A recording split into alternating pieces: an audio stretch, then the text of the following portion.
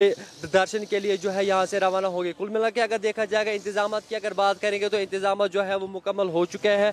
चाहे हम सोने की बात करें या खाने पीने की व्यवस्था की बात करें या बाथरूम वॉशरूम की अगर बात करें, सारी व्यवस्थाएँ जो है वो पूरी की गई है। ये तस्वीरें हैं जहाँ पे यात्री जो है, जो अट्ठाईस उनतीस जून को यहाँ पे पहुँचेंगे और यहाँ पे उनका रेस्ट पॉइंट है। यहाँ पे वो रेस्ट करेंगे और यहाँ से फिर बाबा बर्फानी दर्शन के लिए जो है